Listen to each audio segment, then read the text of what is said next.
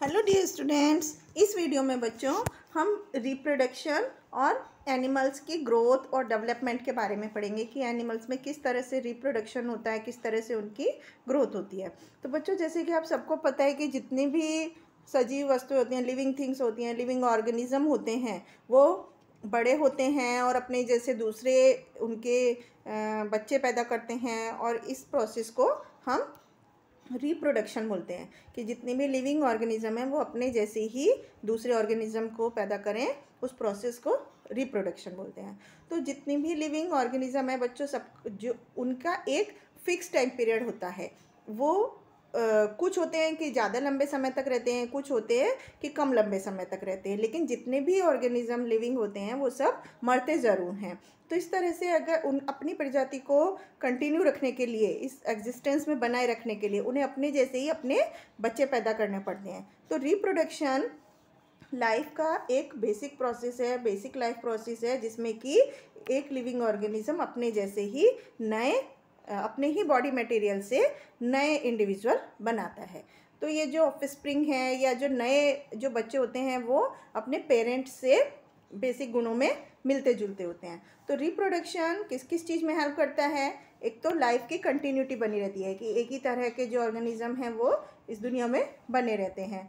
दूसरा, किसी भी एक प्रजाति की जनसंख्या बढ़ती रहती है और दूसरा, जो एक सर्टेन टाइम पीरियड के बाद एक सबसे ज़्यादा फेवरेबल वेरिएशन होते हैं।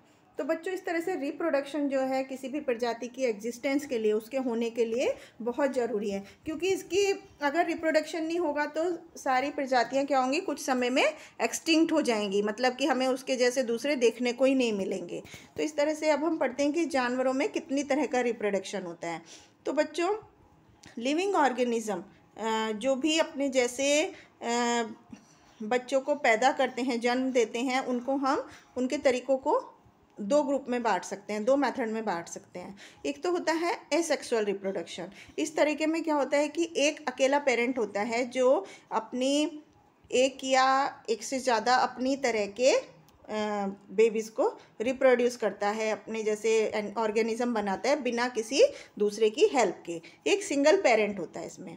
तो इसको हम एसेक्सुअल रिप्रोडक्शन बोलते हैं। जैसे कि, और जो एसेक्सुअल रिप्रोडक्शन के जो ऑफ़ स्प्रिंग्स होते हैं मतलब उनके जो न्यूली बॉर्न ऑर्गेनिज्म होते हैं, उसको हम क्लोन्स बोलते हैं।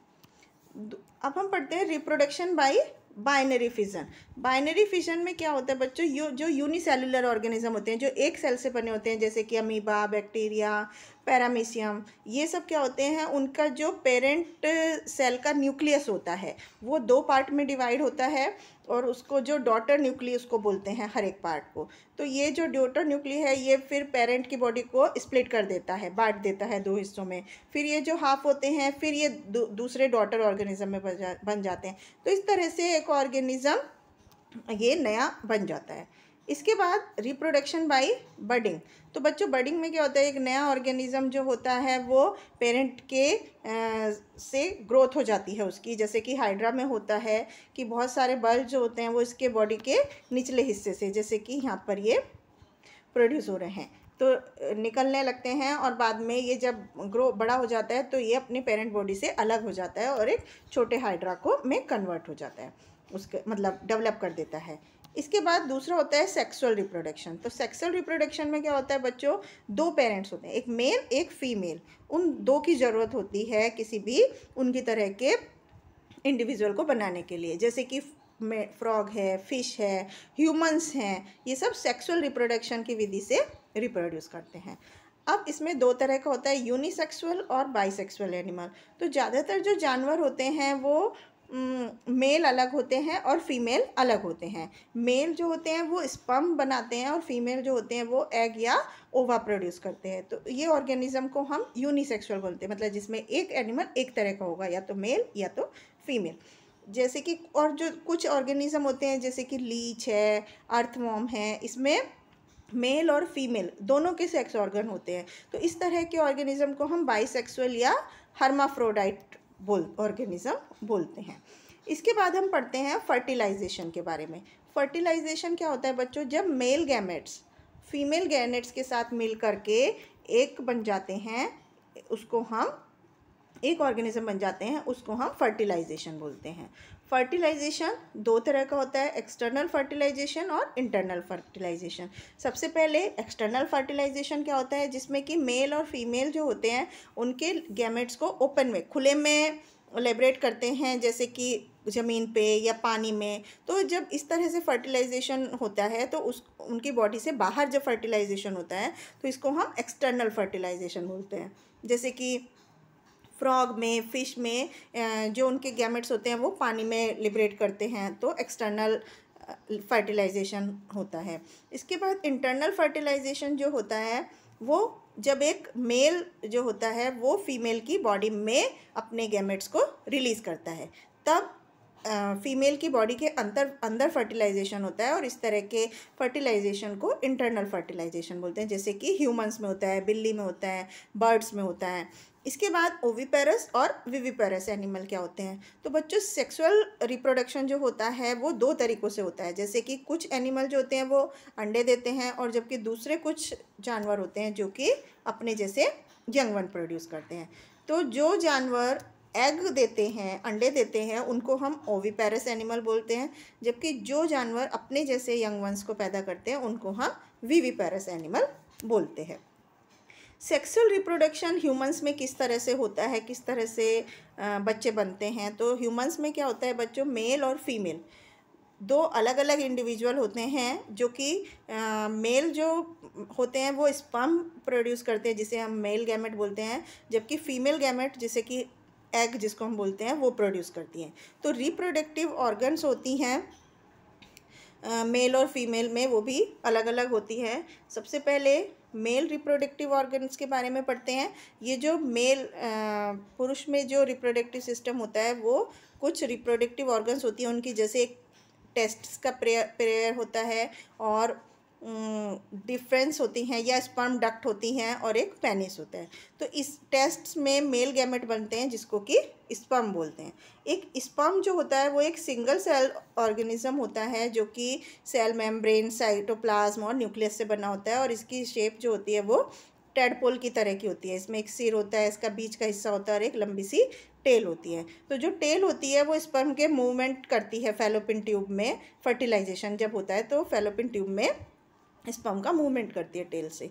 स्पम जो होते हैं वो पेनिस से पेनिस से स्पम डक्ट के थ्रू बाहर आ जाते हैं। अब टेस्टिस जो होते हैं वो मेल हार्मोन भी प्रोड्यूस करते हैं जिन्हें कि टेस्टोरोन बोलते हैं। तो ये जो होते हैं ये सेकेंडरी सेक्सुअल करेक्टर जो होते हैं जैसे कि मेल में आ, उनकी आवाज़ क्रैकिंग होने लगती है या मेल्स में जो दाढ़ी आने लगती है बाल आने लगते हैं वो सब इस हार्मोन्स को प्रोड्यूस करती है। तो टेस्ट जो होते हैं, वो बहुत सारे स्पम बनाते हैं, लेकिन फीमेल रिप्रोडक्टिव ऑर्गन्स के बारे में हम पढ़ें तो फीमेल रिप्रोडक्टिव ऑर्गन्स जो होता है, उसमें एक ओवरी का जोड़ा होता है ओवीडक्ट होती है, जिसे हम फेलोपिन ट्यूब बोलते हैं, और यूट्रेस होता है। ओवरी में फीमेल गैमेट्स, जिसे कि एग बोलते हैं, वो बनता है। इसके बाद स्पम की तरह ही एक एग एक सिंगल सेल ऑर्गेनिज्म है। ह्यूमंस में एक सिंगल मैच्योर्ड एग जो होता है, वो लगभग एक मंथ में एक एग बनता है, जो कि ओविडक्ट में बनता है। और यूट्रस जो है वो हिस्सा है जिसके अंदर बेबी होता है। इसके बाद एग जो होते हैं वो ओवरी में प्रोड्यूस होते हैं और दो एक फैली हुई फनल की तरह की ओपनिंग खुल रास्ता होता है जिसे कि ओविडक्ट का हर एक तरफ़ एक होता है। ओविडक्ट जो होता है वो चौड़े मुँह से की दीवारों से मस्कुलर, मसल्स का बना हुआ एक चैम्बर जैसा होता है जिसे कि यूट्रस या वॉम बोलते हैं। तो यूट्रस जो होता है वो बाहर से मस्कुलर पैसेज, जिसे कि वेजिना बोलते हैं, उसके थ्रू कम्युनिकेट करता है। सर्विक्स मसल्स का रिंग होता है, जो कि निचले किनारे पर होता है यूट्रस के, और वेजिना उससे जुड़ा हुआ होता है।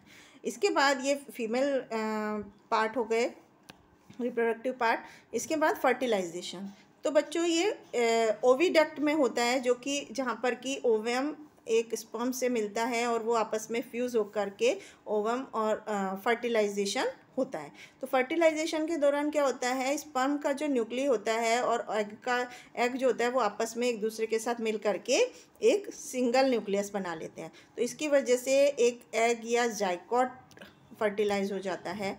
अब जाइगॉट बनने के आ, से एक नए इंडिविजुअल की शुरुआत हो जाती है। तो ovum is not fertilise by a sperm जो एक एग होता है, वो स्पर्म से फर्टिलाइज नहीं होता है। It is expelled from the uterus ये यूट्रस से बाहर आता है कुछ यूट्रेन मसल के साथ और ब्लड के साथ। अगर ये ओव्यूम एग से फर्ट स्पम से फर्टिलाइज नहीं होता है तो ये यूट्रस से कुछ यूट्रिन मसल के साथ ब्लड में मिलके बाहर आता है, जिसे कि मैंसुरेशन बोलते हैं। तो बहुत सा नंबर ऑफ़ एग्स जो होते हैं, वो एक ही समय में प्रोड्यूस हो जाते हैं अलग अलग मैमल्स में। जैसे ह्यूमंस हैं एलिफेंट है, गाय हैं तो ये जनरली एक समय में एक ही एग प्रोड्यूस करते हैं। बिल्ली डॉग रैबिट ये सब एक से ज़्यादा एग एक समय में बनाते हैं। तो ज़्यादा बेबीज़ उन, इसलिए उनको एक समय में ज़्यादा बेबीज़ होते हैं। जाइगोड जो होता है, वो स्पम सेल का फादर के स्पर्म सेल और मदर के एग सेल के मिलने से होता है। ये क्रोमोसोम्स उसमें क्रोमोसोम्स जेंस होते हैं दोनों के, पापा और फादर और मदर दोनों के क्रोमोसोम्स होते हैं। तो इसलिए जो नया, जो इंडिविजुअल बनता है, उसमें उसके माँ और फादर दोनों के गुण आते हैं। तो क्या आपके भी, में भी आपके मम्मी और पापा के कुछ गुण होते हैं? तो वो इसी वजह से होते हैं। इसके बाद बच्चों डेवलपमेंट ऑफ़ एम्ब्रियो। अब हम देखते हैं कि एम्ब्रियो किस तरह से बनता है। इस डेवलपमेंट में जो फर्टिलाइज्ड एग होता है, वो ओविडक्ट से यूट्रस के थ्रू यूट्रस में चला जाता है और उसकी वॉल से चिपक जाता है और एक नया स्ट्रक्चर बन जाता है, जिसे कि प्लेसेंटा बोलते हैं। वो एम्ब्रियो को उसकी यूट्रस की दीवार से अटैच कर देता है। आठ हफ़्ते में उसके सारे मेजर ऑर्गेनिज्म बन जाते हैं, जैसे कि हाथ, पैर, हेड आइज़ कान, ये सब बन जाते हैं एम्ब्रियो के। और एम्ब्रियो के इस स्टेज में उसके ज़्यादातर बॉडी पार्ट्स को पहचान सकते हैं, जिसे कि हम फोइटस बोलते हैं। सिक्सटीन हफ़्ते होने के बाद ये सारे ऑर्गेनिज्म जो होते, ऑर्गन्स जो होते हैं, वो बन जाते हैं और मदर को बेबी का किक फील होने लगता है फोइटस का सोलह हफ्तों बाद।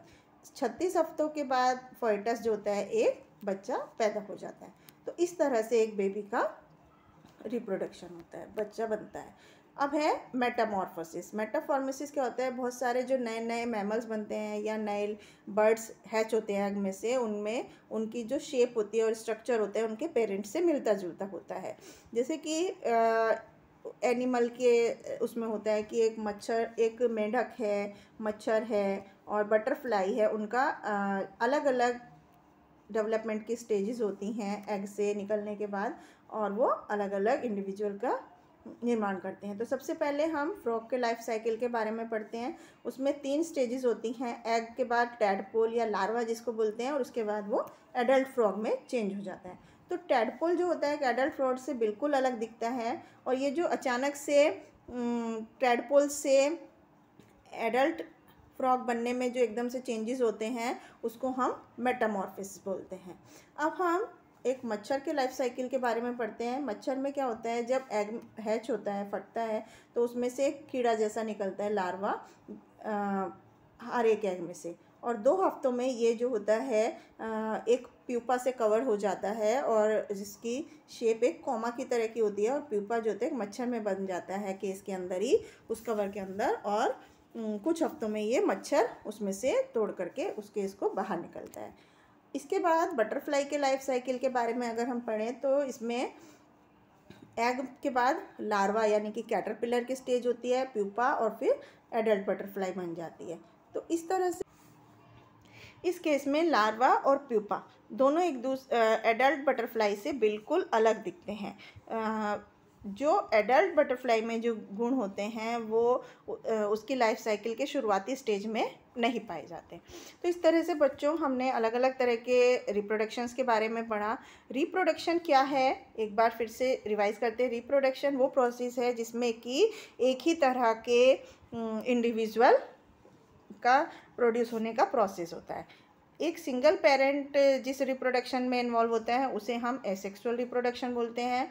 और बाइनरी फिजन में, जैसे कि अमीबा में होता है, हाइड्रा में बडिंग होता है, ये एसेक्सुअल रिप्रोडक्शन के एग्ज़ाम्पल हैं। क्लोनिंग वो प्रोसेस है जिसमें कि बायोलॉजिकल एंटिटी उसकी एग्जैक्ट कॉपी होती है। उसके पेरेंट की। और सेक्सुअल रिप्रोडक्शन में दो पेरेंट एक मेल और एक फीमेल चाहिए होता है। मेल फा मेल पेरेंट जो होता है, उसका स्पर्म और फीमेल के ओव्यम यानी कि एग को मिला करके सेक्सुअल रिप्रोडक्शन होता है। स्पर्म और एग जो होता है, वो मिलकर के जाइगोड बनाते हैं, जिसको कि फर्टिलाइजेशन बोलते हैं। और एम्ब्रियो जो है वो जाइगॉट से बनता है, उसके रिपीटेड डिवीज़न के बाद और जो कि बड़ा होके यूट्रस में एक फीमेल के यूट्रस में बड़ा होता है और उसको इंटरनल फर्टिलाइजेशन के थ्रू और एम्ब्रियो जो है वो एक फोइटस में कन्वर्ट हो जाता है।